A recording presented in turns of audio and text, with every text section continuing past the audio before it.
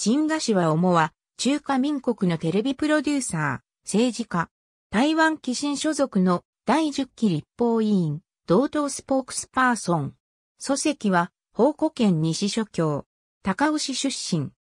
成人後も政治の世界には無縁だったが、中国赴任中にひまわり学生運動が起きたことを知り、学生らが滅火器の楽曲、当初天候を合唱しているのを見て涙したことが政治への興味を抱いたきっかけとしている。父はタクシー運転手で少年時は市内を何度も転居している。演説時にサンキューのフレーズをよく使えていたことからサンキュー化のニックネームで呼ばれるようになった。台湾語下流暢で市議選を控えた2018年11月には3リッター電子台の政治番組新台湾会議に出演し、頭の回転の良さと独特のユーモアを交えて終始台湾語での論評を行ったほか、立法委員当選後には新型コロナウイルス流行に伴う特別予算の審議で与党の蘇貞正や陳自中を相手にすべて台湾語での質疑を行った。元は、うさぎ小総医影業などで、特殊効果部門の経理担当や、3D 映像の技術者や MIS など、ポストプロダクション分野で活動していた。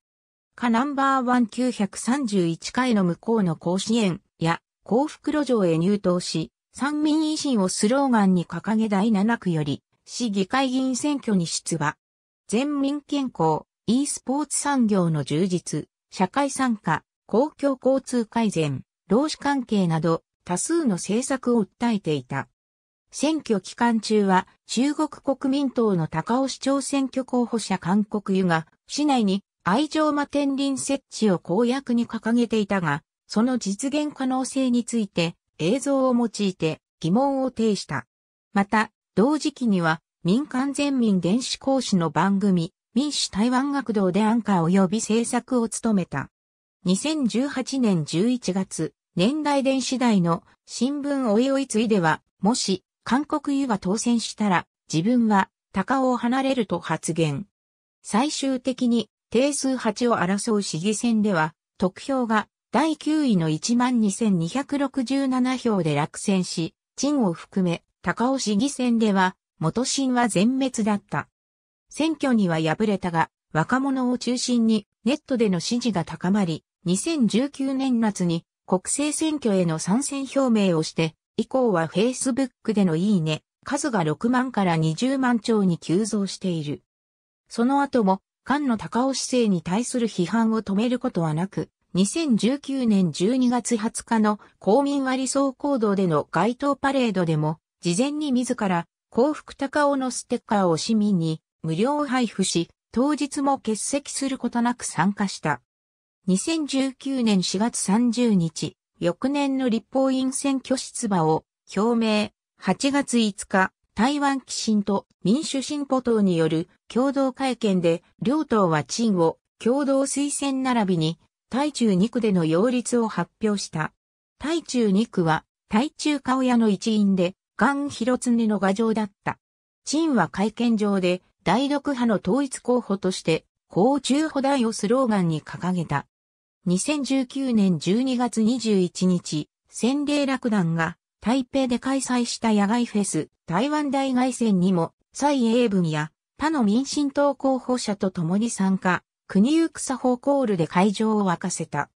2020年1月11日、中国国民党のガン広常の参戦を阻止したことで、ガン清票、広常親子で、対中堅時代から30年続いた、顔屋の腐敗記録も終焉させた。開票後は、黒ジャケット姿で現れ勝利宣言。民進党と国民党の二大政党以外の政党による唯一の小選挙区当選者となった。1月20日には、蔡英文が総統選挙で勝利すれば6都で、鳥杯をおごると宣言していた YouTuber の官庁こと陳の男に代わって、台中市内でチキンを振る舞った。大独支持者であるほか、同性婚支持のあまりに国民党に投票する同性愛者は政治を語る資格はないという発言が物議を醸した。当選後の2020年1月22日、中華民国経済部に対して2020年春節期間中に対中火力発電所の1日完全停止を提案。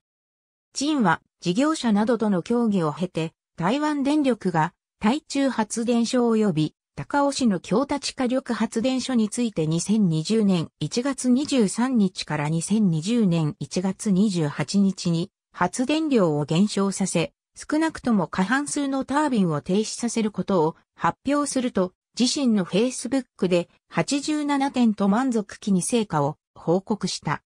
香港端総中民主化デモを支持するあまり、香港での反中運動家を対象に、台湾での兵役を経て、公民権を与えることを立法院で提案。自身のフェイスブックでも重ねて、それを表明したが、支持者からも失望のコメントが寄せられた。陳自身は将来の労働人口不足に備え、かつ、米国のグリーンカード従軍兵を参考に提案したものだったが、支持者らは、香港籍を取得した中国人がすでに多く存在することなどを理由に支持は得られなかった少年時代からを用いたダンス、ダンスレボリューションなどのダンス系音楽ゲームの名人として知られ、中学時代の15歳で台湾王者となったこともある。青年後も変わらぬ出前を披露している。2014年、高尾でのかの試写会で市長の陳木倉も見守る中で、当時の交際相手にプロポーズし、成功。立法委員当選後に、当時の映像とともに2020年時点でも未婚であることが暴露された。また、高尾高果実などの Facebook グループへ参加したり、ソフトボールもたしなむ。